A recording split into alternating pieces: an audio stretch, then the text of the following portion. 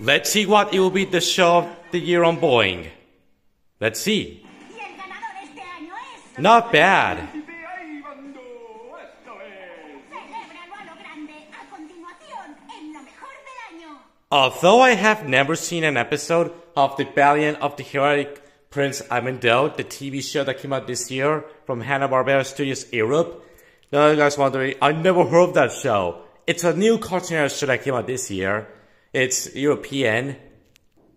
Even though I never seen the show, but congrats to this show for being the best show of 2023 on Boing. Pretty awesome, isn't it? Thank God Teen Titans Go didn't win this year, or fairly honor. Thank God it was Ivandoe. Pretty interesting, isn't it? Happy New Year's Eve.